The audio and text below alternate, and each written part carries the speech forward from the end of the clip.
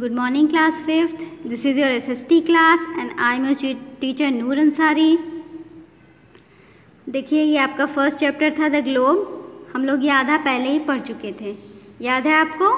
Shape of the earth हम लोग पढ़ चुके थे। अब हम इसके आगे का कंटिन्यू करेंगे द ग्लोब तो हम लोग को क्या पढ़ना है? द ग्लोब बेटा जिन्होंने बुक्स नहीं ली है बच्चों जल्दी जल्दी अपनी बुक्स ले लो ताकि हमारे साथ स्टडी कंटिन्यू कर सको। है ना? और चैनल सब्सक्राइब करना ना भूलें, ताकि आपको जो भी हम वीडियो डालें वो आप तक सबसे पहले पहुँचे। ठीक है? चलो अपनी अपनी बुक्स ओपन कर लो। फटाफट से देखो द ग्लोब। द ग्लोब हम लोग पढ़ने वाले हैं। The globe is a small model of our earth. Globe क्या है? हमारी अर्थ का एक स्मॉल मॉडल है। Earth is a, is so big that we can not properly scale it earth क्या है? बहुत बड़ी है। अर्थ इज़ सो बिग इस वजह से जो हम क्या कर सकते हैं, उसे प्रॉपरली जो है स्केल नहीं कर सकते प्रॉपरली नाप नहीं सकते हैं। So we take the help of a globe इसलिए हम लोग एक ग्लोब की सहायता लेते हैं। किस लिए? इसे नापने के लिए, है ना? अपनी अर्थ को देखने के लिए। A globe shows us the shape and the location of the continents and the location of the countries and the location of important cities. है ना? ग्लोब किस लिए हम यूज़ करते हैं? शेप को जानने के लिए इसके और लोकेशन जानने के लिए। कॉन्टिनेंट्स की लोकेशन हो या कंट्रीज़ की लोकेशन हो या इंपॉर्टेंट सिटीज़ की लोकेशन हो इसमें ग्लोब में हम ये सब आसानी से देख सकते हैं, है ना? देखा है कभी ग्लोब नहीं? तो देख लेना ऑफ़िस वगैरह में रखा होता है स्कूल में भी रखा होता है, नहीं, कुछ लोगों के घर में भी होता है है ना? चलो देखो आगे। We can easily scale the distance between various places on the earth using a globe globe की सहायता से हम भिन्न भिन्न मतलब देशों की दूर दूर जगहों की क्या कर सकते हैं? दूरी को देख सकते हैं, नाप सकते हैं। Easily scale the distance between various places on the earth using a globe globe की सहायता से। We can only see half the globe at one time एक समय में हम ग्लोब का आधा हिस्सा ही देख सकते हैं, क्योंकि ये तो सर्कल में बना है। देख रहे हो ना? सर्कल में बना, हमारे सामने आधा ही तो है ये, है ना? जब हम इसको घुमाएँगे, तब हम इसका पीछे का पार्ट देख पाएँगे। तो ये कह रहा है कि we can only see half the globe at one time एक समय में हम इसका हाफ़ ही देख सकते हैं। However we can turn the globe around to see the other one है ना? द अदर हाफ़ दूसरा हाफ़ देखने के लिए हमें क्या करना होगा? ग्लोब को टर्न करना होगा, है ना?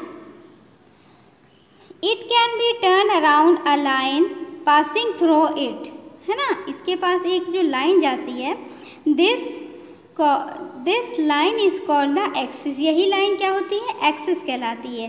The axis is not straight axis कैसी होती है? स्ट्रेट नहीं होती है। It is at an angle of twenty three one oblique to degree है ना? वन एंड हाफ़ देखो twenty three one and half degree. ठीक है? ये इस पर क्या करती है? एक स्ट्रेट लाइन नहीं होती है और ये किस पे बनी होती है? Twenty three one and half degree के एंगल पे ये बनी होती है। The earth constantly rotates. Earth जो है क्या करता है? रोटेट होता है, पता है ना आपको? घूमता रहता है। और turn around its axis of rotation. है ना? जब वो चक्कर लगाती तो किस पे लगाती? इसी पे तो लगाती है ना, अपनी एक्सिस पे। याद है आपको? हम्म। अब आगे देखो north pole and south pole look at the end points of the globe globe के इंड पॉइंट को देखो. अब इन पॉइंट कहाँ है? मैं बताती हूँ. The point at the top end of the globe is called the north pole देखो नॉर्थ पोल जो है, ये देखो नॉर्थ पोल दिख रहा है आपका? तो ये क्या है आपका? ये एंड है एंडिंग पॉइंट इसी को बोलते हैं। Look at the ending point of the globe ये ग्लोब का क्या है? एंडिंग पॉइंट है। और ये नीचे का एंडिंग पॉइंट है। तो ये जो है नॉर्थ पोल है। ये नॉर्थ पोल का एंडिंग पॉइंट है। और ये साउथ पोल अभी आगे देखें, हम लोग पढ़ेंगे। North pole and the point at the bottom देखो टॉप का जो है, वो नॉर्थ पोल कहलाता है। And the point at the bottom is called the south pole और जो बॉटम का एंडिंग पॉइंट है, वो साउथ पोल कहलाता है।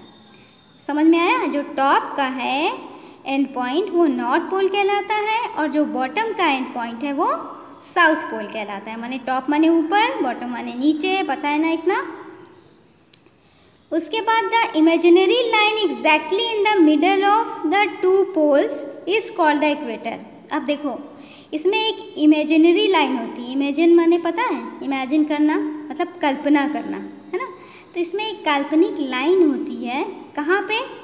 बिल्कुल एग्जैक्टली बीचों बीच middle of the two poles दोनों पोल्स के बीचों बीच एक लाइन होती है, जिसे इमेजिनरी लाइन कहते हैं। वो क्या होती है? वो इक्वेटर होती है। This is called equator called the equator the equator divide the globe into two equal halves equator का काम क्या है?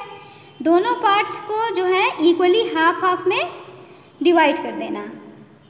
दोनों हिस्सों को मतलब ऐसे कहें सिंपल वर्ड्स में तो क्या करना है? ग्लोब को आधे हिस्से में बांट देना इक्वेटर क्या करता है? आधे हिस्से में अर्थ को बांट देता है। आधा नीचे, आधा ऊपर, है ना? हाफ़ इक्वली हाफ़ बराबर से हाफ़ कॉल द हेमिस्फेयर जो क्या कहलाता है? हेमिस्फेयर कहलाता है। To the north of the equator is the northern hemisphere देखो नॉर्थ की तरफ़ जो है हिस्सा, वो नॉर्दर्न हेमिस्फेयर कहलाएगा and the other toward the south is the southern hemisphere और जो साउथ की तरफ़ है, वो क्या कहलाएगा? साउदर्न हेमिस्फेयर ठीक है? अब आगे बढ़ते हैं लेटीट्यूड्स है ना? लेटीट्यूड में देखो there are imaginary circle on both side of the equator equator के दोनों तरफ़ क्या है बताया था ना? एक इमेजिनरी लाइन है है ना? इमेजिनरी सर्कल है। तो their circumferences keep on diminishing with their distance from equator है ना? तो उनकी परिधि बराबर से अपनी दूरी के साथ कम होती रहती है। Their circumferences keep on diminishing with their distance from equator equator से जो है, उनकी परिधि बराबर से अपनी दूरी के साथ कम होती कम होती जाती है। कैसे? These circle are called latitude यही सर्कल जो है वो क्या कहलाता है? लेटीट्यूड्स कहलाता है। These circles are called latitude these latitudes are parallel parallel and equidistant from one another अब देखो दिस लेटीट्यूड जो हैं लेटीट्यूड बताए थे ना, वो क्या है? पैरेलल है। अब पैरेलल मीन्स क्या होता है? पैरेलल मीन्स होता है जो लाइंस ये जो है देखो इसमें, ये वाली लाइंस देख रहे हो, जो एक के बाद एक इक्वली दूरी तय करते हुए कोई लाइंस बनी होती हैं, इस तरह से, एक के नीचे एक एक के नीचे एक, ऐसे आए, और चाहे ऐसे आए, एक के बाद एक एक के बाद एक, मगर इक्वल दूरी पर बनी रहती हैं, उसे कहते हैं पैरेलल तो पैरेलल एंड इक्वी डिस्टेंस बराबर डिस्टेंस के साथ फ्रॉम वन एंड अनदर है ना, एक और मतलब एक के बाद एक जो भी, जो लाइंस खींची हैं, वो क्या है? बिल्कुल इक्वल हैं इक्वी डिस्टेंस पे हैं, बराबर बराबर हैं। Hence these are also known as parallel of latitude इसीलिए ये क्या कहलाते हैं? इसे कहते हैं पैरेलल ऑफ़ लेटीट्यूड लेटीट्यूड्स का पैरेलल है ना? The latitudes are marked from zero degree to ninety degree अब लेटीट्यूड मार्क्स कैसे करता है? ज़ीरो डिग्री से ninety degree the equator begin to zero degree The degree of latitude is followed by the north and the south poles. देखो the latitude are marked from zero degree to ninety degree latitude कैसे marks करती है? Zero degree से ninety degree है ना? The equator begin equator के कहाँ से बिगिन होता है? ज़ीरो डिग्री से। The degree of latitude is followed by the north and the south कहाँ चलती किधर की तरफ़ है? या तो नॉर्थ की तरफ़ जाएगी और नॉर्थ वाली नॉर्थ की तरफ़ जाएगी साउथ वाली साउथ की तरफ़ जाएगी। The north pole is at 90 degree north है ना? नॉर्थ पोल जो क्या है? 90 डिग्री नॉर्थ की तरफ़ है। And the south pole is the is at 90 degree south देखो नॉर्थ वाला नॉर्थ की तरफ़ है 90 डिग्री और साउथ वाला साउथ की तरफ़ 90 डिग्री देख रहे हो? 90 degree of latitude in the northern hemisphere, है ना? 90 degrees of latitude in all the southern hemisphere. मतलब वही साउदर्न हेमिसफेयर में इधर आएगा तो भी 90 डिग्री होगा और ऊपर जाएगा तो भी 90 डिग्री होगा, है ना?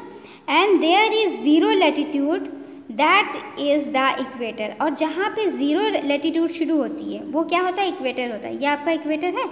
है ना? यहीं से ज़ीरो शुरू होता है, ठीक? अगर ये नॉर्थ में जाएगा तो 90 डिग्री इधर जाएगा, अगर ये साउथ में, अगर 90 डिग्री इधर जाएगा, समझ रहे हो ना? That is the equator zero से जहाँ से शुरू होता है ज़ीरो डिग्री उसे इक्वेटर कहते हैं। ये रहा इक्वेटर आपका, है ना?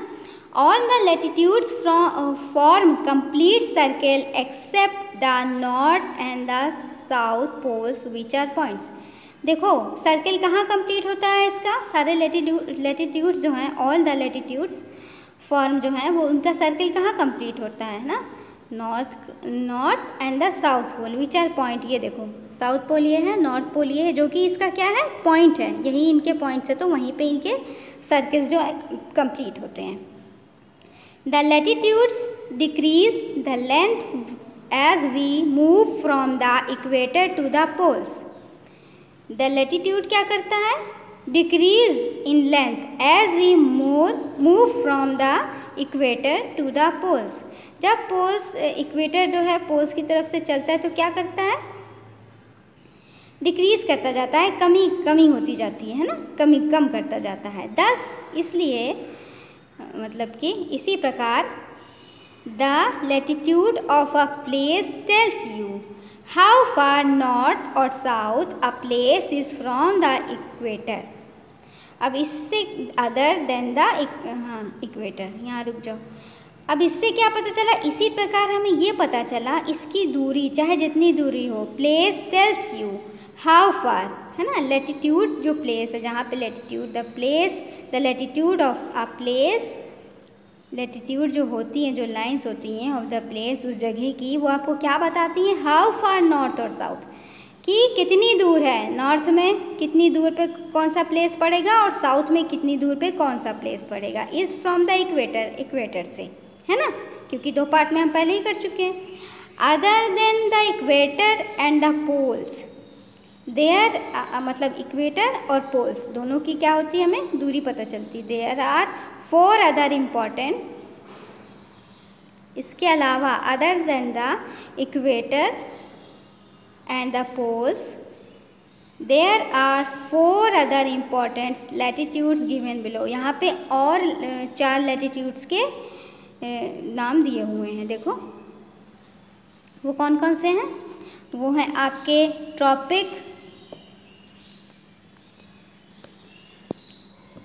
tropic of cancer 23 one and half degree tropic of capricorn 23 one and half degree arctic circle 66 one and half degree and antarctic circle 66 one and half degree ठीक है? अब ये आज का आपका, यहीं पे हम लोग जो है रोकते हैं। इसके आगे का लॉन्गिट्यूड हम लोग अपने नेक्स्ट सेक्शन में पढ़ेंगे। ठीक है? तो जिन्होंने बुक नहीं ली है बच्चों बुक ले लो फटाफट से। ताकि अगले सेशन में ये कंप्लीट करके फिर हम लोगों को एक्सरसाइजेस करनी है क्वेश्चन आंसर्स करने हैं तो बुक इज़ मोर इंपॉर्टेंट ना? बुक्स ले लो ओके क्लास आज के लिए इतना ही गुड बाय क्लास फिफ्थ